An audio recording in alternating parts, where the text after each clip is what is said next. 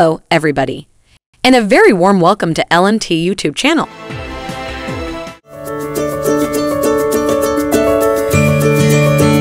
Last week, Netflix unveiled a captivating video featuring Meghan Markle in a dynamic post screening discussion for director Misan Harriman's debut short film, The After.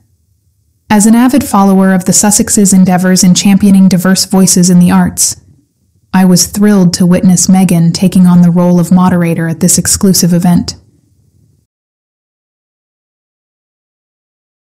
The After intricately weaves the poignant tale of about a London rideshare driver grappling with the aftermath of a traumatic incident. It serves as the directorial debut for the renowned photographer Misan Harriman, who consistently leverages his influence to shed light on crucial social issues. Joining Harriman in the conversation was the acclaimed actor David Oyelowo, delivering a compelling performance in the film. The discussion, which took place in Montecito, California, allowed Meghan to dive deep into the filmmaking process with these talented men. Leveraging her background in acting, Meghan showcased her thoughtful and insightful moderation skills.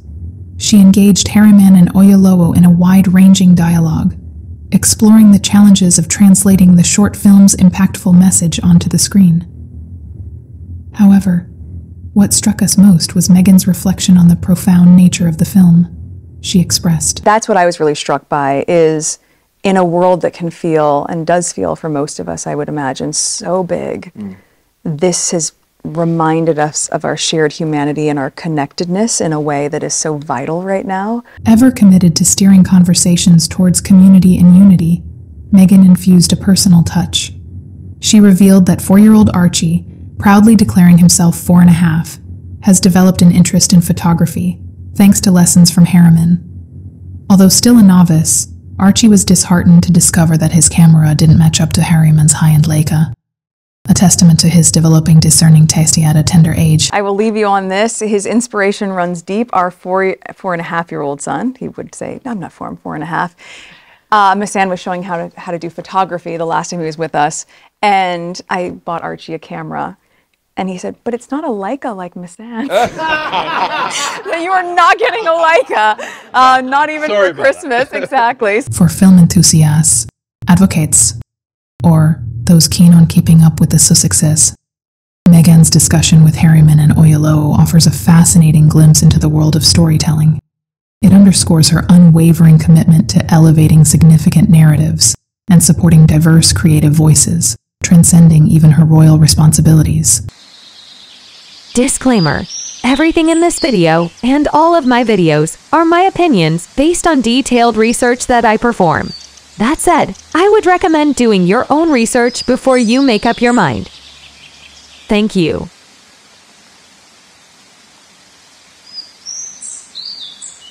Meghan's body language toward Harry during a 2018 trip to Belfast caught the eye of at least one body language authority. As Judy James explained to the Daily Mail, Meghan's nonverbal cues displayed a charming dynamic between the Duke and the Duchess of Sussex, even in the face of less than ideal weather conditions, she was all smiles and enthusiasm. That's okay. We can deal with the rain. Throughout the event, Meghan exhibited signs of respect and admiration for her husband. She lowered her head in a gesture of deference and avoided direct eye contact, showcasing her willingness to let him take the lead. While behavior like this could be construed as being about dominance and submission, James insists that it was a beautiful display of partnership and mutual support between the couple. This working trip was right before their wedding, so it's no surprise the pair were in full on lovebird mode. James told the Daily Mail that Harry's body language said he was enthralled to have Meghan by his side, so much so he may have even been distracted by her presence. As James explained, it would be massively distracting, though in a good way as she is clearly flirting with him. He is clearly enjoying it. She looks stunning. He's just trying to go about his normal role and duties, and it is almost making him laugh. Their report cut through Belfast gloom as ever. Her evident esteem, his fond gaze, a mutual trust bearing fruit wherever they tread. As in life's best partnerships, one shines yet brighter through the other's gleam. May this endure as preface to a future ever fairer. Amid ongoing family drama, Meghan made a bold attempt to exude confidence and take control during a public appearance with Harry at the Natural History Museum in 2019. As Judy James explained in the Daily Mail, Meghan put on a self assured display, purposely avoiding touching her baby bump. This deliberate move could be seen as a way to demonstrate her strength and composure despite the turmoil surrounding her. Meghan's estranged father, Thomas Markle, had recently leaked a letter to the press from his daughter, and she was clearly not going to let that ruin her night. With a posture that spoke volumes, she stood tall and took the lead alongside Harry, refusing to be overshadowed by the ongoing scrutiny and speculation. By not touching her baby bump, a gesture she had previously displayed during moments of vulnerability and maternal affection, Meghan sent a clear message that she was in control of the situation. In addition to her own posture, she also stood more physically distant from Harry as well. James theorized that this was a mutual decision, with Harry allowing his wife to assume more authority with her public appearances, as she had not been in the royal family for very long and she was already exuding great confidence in her newfound position. Poise shone through on that trying day, questions swirled without, yet within, steadfast support allowed purpose pride of place. His bolster buoys, her light lifts both in turn. True partnership's power takes root in trials faced, shoulders touching as they forge onward. In a clear attempt to draw parallels between Princess Diana and Harry and Meghan, the Netflix docu-series Harry and Meghan showcases a particularly poignant moment when the Sussexes are being driven somewhere in a car as paparazzi are allegedly following them.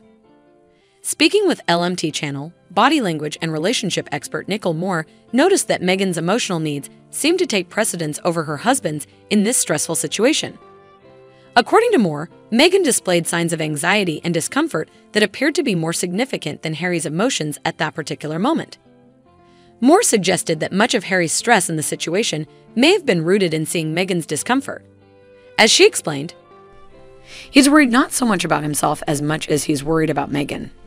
During the scene, Harry tries to reassure Meghan, who barely glances at him and offers no way to connect with her. Be with friends in less than 10 minutes? Yeah. By providing no comfort for Harry and instead stilling with her own anxiety, Meghan's behavior showcased that her feelings come before Harry's in threatening situations like this. In pressure, empathy is most called for. His care for her first tells of love's tune. What pains one pains both, shared but eased by faith and togetherness. Their rhythm shelters each in turn as darkness nears. Tis in such anchored graces joy's harbor still lies. Harry, Meghan, Prince William, and Kate Middleton made a rare public appearance together in February 2018, where they sat on stage together and talked about the Royal Foundation. It was obvious from even the average observer that there were some major tensions brewing below the surface, though nobody could have known how big those tensions were. However, Judy James noticed the stark contrast between the Sussexes and the Cambridges right away, particularly Meghan Markle and Princess Catherine.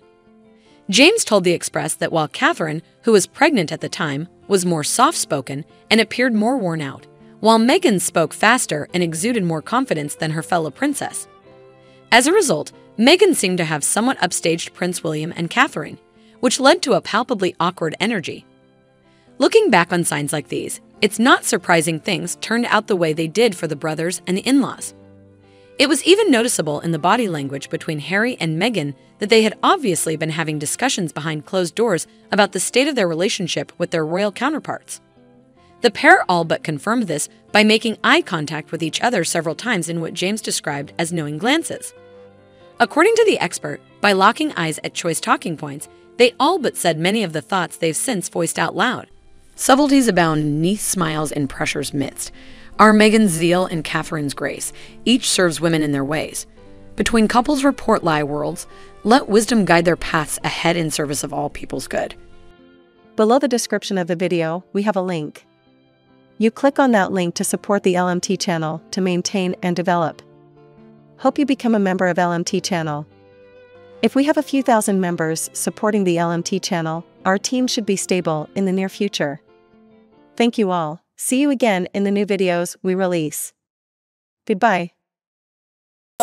Stop.